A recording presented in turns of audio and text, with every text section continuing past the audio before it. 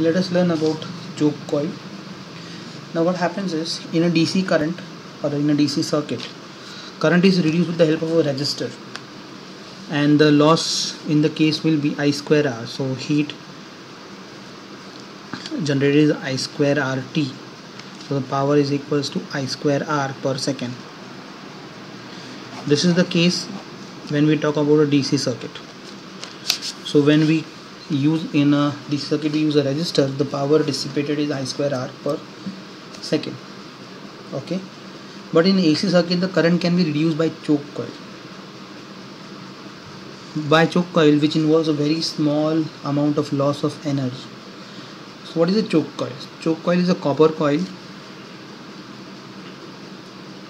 Choke coil is nothing but an inductor coil. It is a copper coil right? Wound over a soft iron. There's wound over a soft iron. Laminated core. Soft iron laminated core. This coil is put in series with a circuit in which current is to be reduced. So if you see this is our tube light. This is a tube light rod. So here is the AC circuit AC source and this is a choke coil so we are connected in series where the current is to be reduced. Okay? So this is a choke coil. Now why we are using a choke coil that I told you?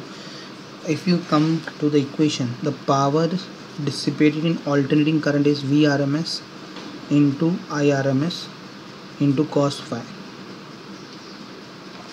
Okay? Now this is the equation that we have derived that day now if I will use a resistor or a resistance in the AC circuit we know that V and I the phase difference between these two is 0 so the power will be maximum that is VRMS into IRMS because cos 0 is 1 correct? But if I will use a inductor coil L having inductance L. So here we know that V and uh, I that is a phase difference of pi by 2 because V leads the current. So here the power will be minimum that will be equal to 0 and in this case the current is said to be a wattless current. So there is no power loss if we use a inductor coil. Thus this inductor coil which is used to reduce the current in a circuit in a AC circuit is called as a choke coil right? So I hope you understood. So here the value of cos phi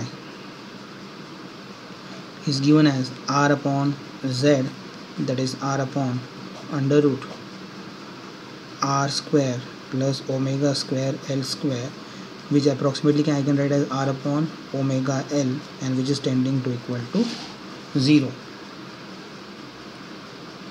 r is nothing but the resistance of the choke coil.